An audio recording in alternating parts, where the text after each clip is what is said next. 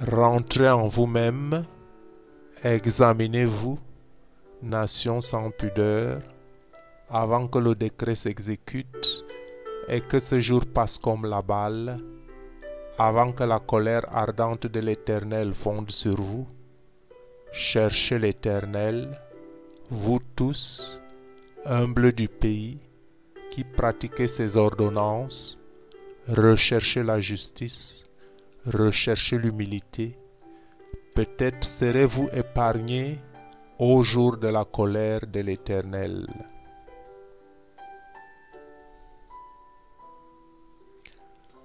Tu as été la femme adultère qui reçoit les étrangers au lieu de son mari? À toutes les prostituées on paye un salaire, mais toi, tu as fait des dons à tous tes amants. Tu les as gagnés par des présents, afin de les attirer à toi de toutes parts dans tes prostitutions. Tu as été le contraire des autres prostituées, parce qu'on ne te recherchait pas et en donnant un salaire au lieu d'en recevoir un, tu as été le contraire des autres.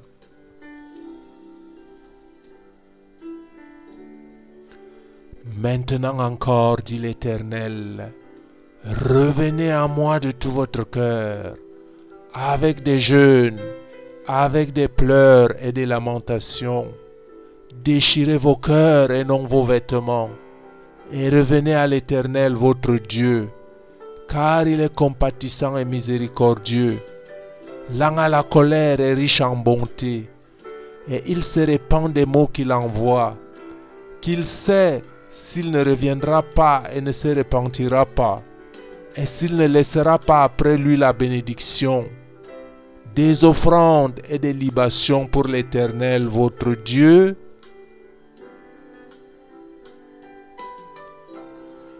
Ainsi parle l'Éternel. Maudit soit l'homme qui se confie dans l'homme, qui prend la chair pour son appui, et qui se détourne et qui détourne son cœur de l'Éternel. Il est comme un misérable dans le désert, et il ne voit point arriver le bonheur. Il habite les lieux brûlés du désert, une terre salée sans habitants. Béni soit l'homme qui se confie dans l'Éternel et dont l'Éternel est l'espérance.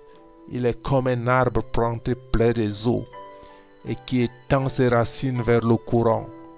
Il n'aperçoit point la chaleur quand elle vient et son feuillage reste vert dans l'année de la sécheresse. Il n'a point de crainte et il ne cesse de porter du fruit le cœur est tortueux par-dessus tout et il est méchant. Qui peut le connaître? Moi, l'Éternel, j'éprouve le cœur.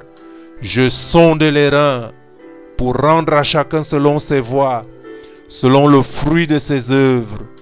Comme une perdrix qui couve des œufs qu'elle n'a point pondus, tel est celui qui acquiert des richesses injustement. Au milieu de ses jours, il doit les quitter et à la fin, il n'est qu'un insensé.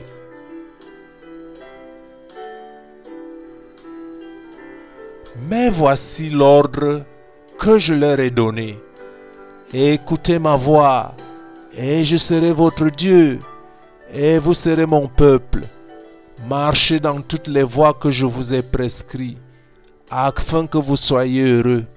Et ils n'ont point écouté, ils n'ont point prêté l'oreille ils ont suivi les conseils, les penchants de leur mauvais cœur.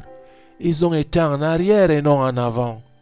Depuis le jour où vos pères sont sortis du pays d'Égypte jusqu'à ce jour, je vous ai envoyé tous mes serviteurs, les prophètes. Je les ai envoyés chaque jour, dès le matin. Mais ils n'ont point écouté, ils n'ont point prêté l'oreille. Ils ont rédit leur coup. Ils ont fait le mal plus que leur père. Si tu leur dis toutes ces choses, ils ne t'écouteront pas. Si tu cries vers eux, ils ne te répondront pas. Alors dis-leur, c'est ici la nation qui n'écoute pas la voix de l'Éternel, son Dieu.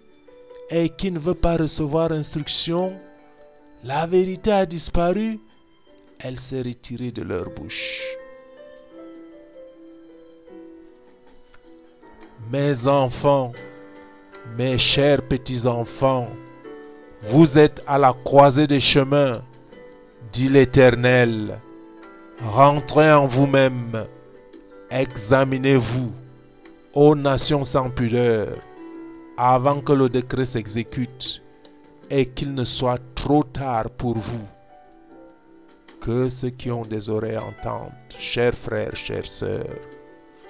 Revenez à moi, mes enfants, dit Dieu l'Éternel. Je suis humble de cœur et compatissant. Je suis un Dieu compatissant. Revenez à moi, mes enfants. Revenez, revenez, tant qu'il est temps.